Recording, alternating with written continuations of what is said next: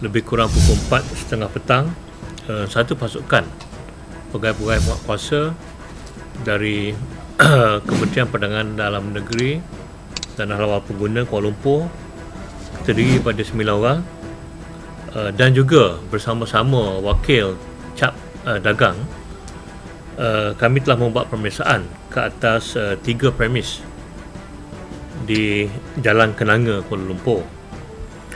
Hasil daripada pemeriksaan uh, tersebut sebanyak uh, 28,626 unit uh, barangan uh, tiruan uh, yang bernilai sebanyak 721,650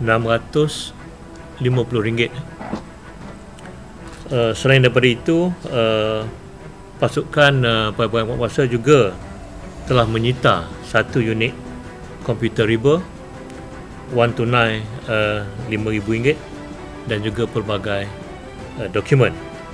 Kes uh, disiasat di bawah Seksyen 8 Akta Perihal Dagangan 2011. Dalam uh, serbuan berkenaan, uh, pegawai juga telah menahan dua lelaki Bangladesh, warga negara Bangladesh dan uh, seorang lelaki uh, warga tempatan.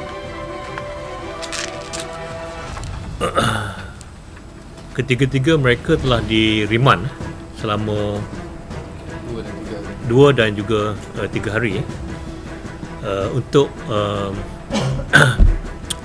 uh, melancarkan uh, siasatan uh, kami.